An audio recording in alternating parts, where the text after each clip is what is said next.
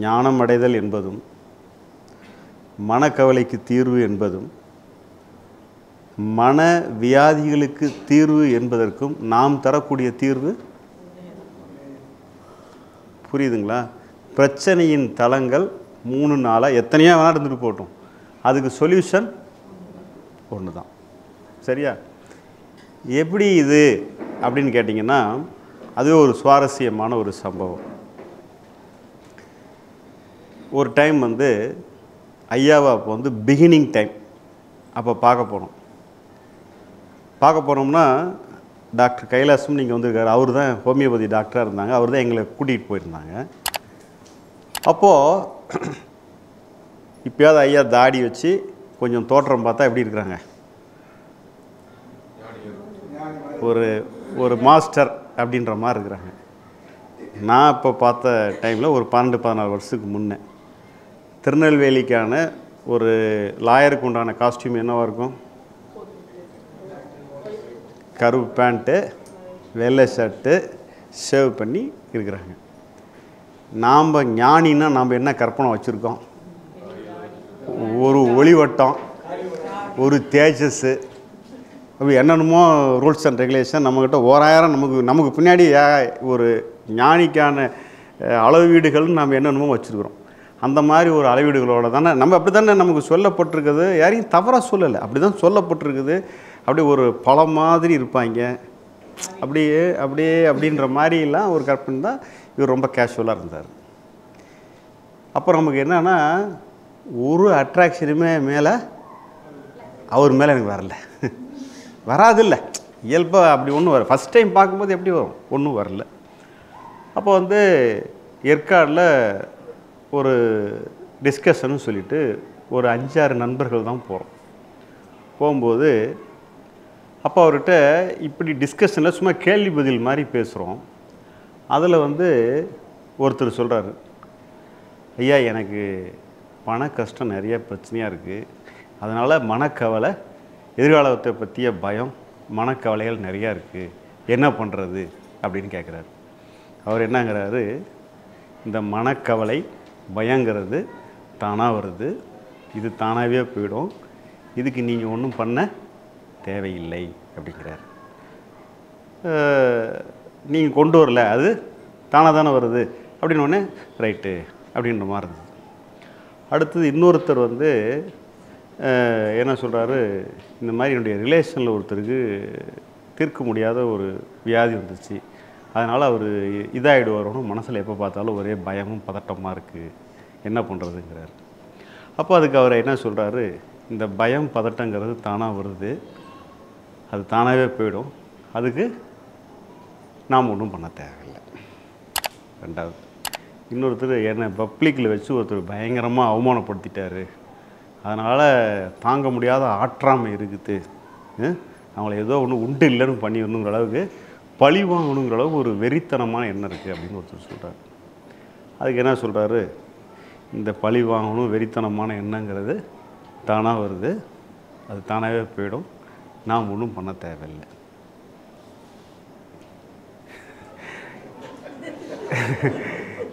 நமக்கு என்ன தோணும்?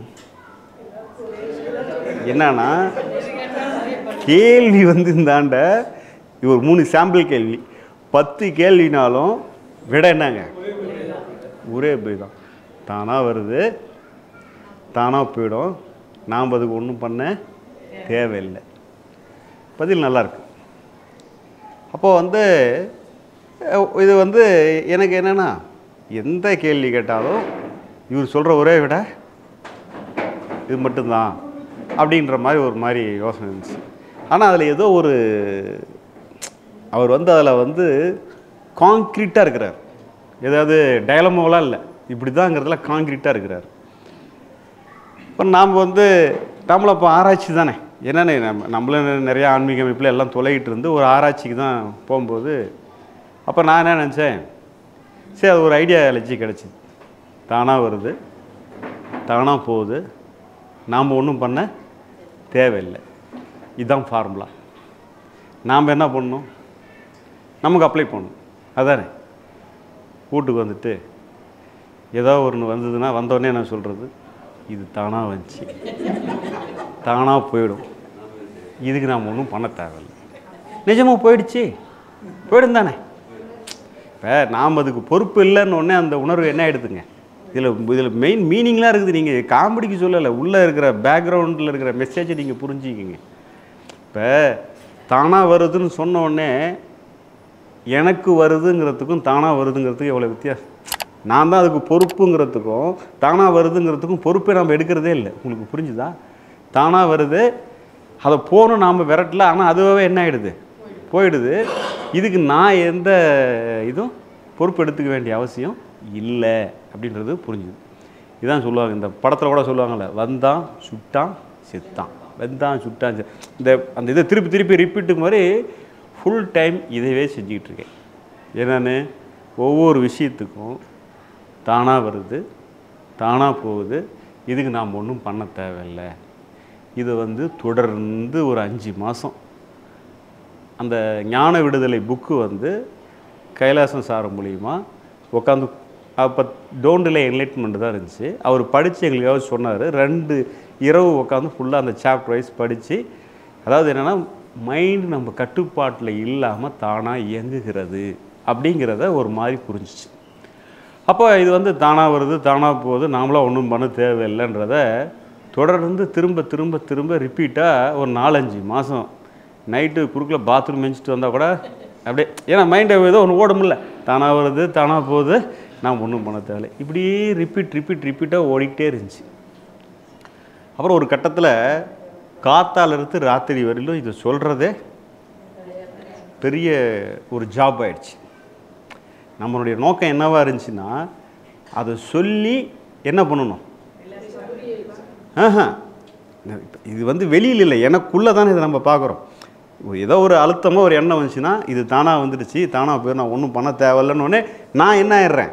ஃப்ரீ ஆயிடுறேன். என்னுடைய நோக்கம் வந்து இப்படி சொல்லிட்டா ஃப்ரீ ஆகிடுங்கிறதையே தான் வச்சுருக்கிறோமோ தவிர அதில் இருக்கிற உண்மையான மீனிங் நமக்கு சொல்கிறது உங்களுக்கு புரியுதா? அதாவது அது நேச்சுரலாக ஏற்படுதுங்கிறத நம்ம புரிஞ்சிக்கலாம் இப்படி சொன்னால் ஃப்ரீ ஆகிடுதுங்கிற மாதிரி அது ஒரு மாதிரி ஒரு மோல்டிங்காக வச்சுட்டு நம்ம அந்த மாதிரி ட்ரையலை நம்ம பண்ணிகிட்டு இருந்தோம்.